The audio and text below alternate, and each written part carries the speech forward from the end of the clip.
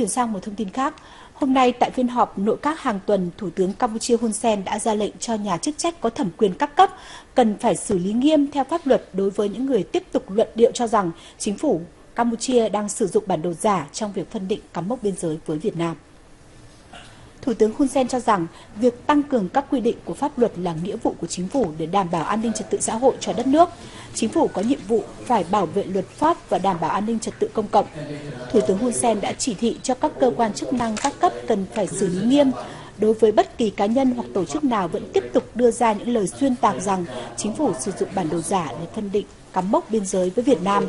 Đây là hành vi khiêu khích, làm ảnh hưởng tới trật tự và an ninh công cộng, làm cho người dân hiểu sai về vấn đề biên giới. Cũng trong ngày hôm nay, Đảng Bảo Hoàng Funsipec đã ra tuyên bố ủng hộ chính phủ, cho rằng chính phủ của Thủ tướng Hun Sen đã sáng suốt khi tổ chức đối chứng bản đồ phân giới cắm mốc với Việt Nam. Động thái này khẳng định sự đúng đắn và nghiêm túc của Campuchia trong việc phân định cắm mốc biên giới với Việt Nam. Ông Norodom Ranarit, Chủ tịch Đảng khẳng định, lâu nay Đảng Bảo Hoàng Funsipec không hề hoài nghi về công tác phân định cắm mốc biên giới với Việt Nam của chính phủ do Đảng Nhân dân Campuchia lãnh đạo.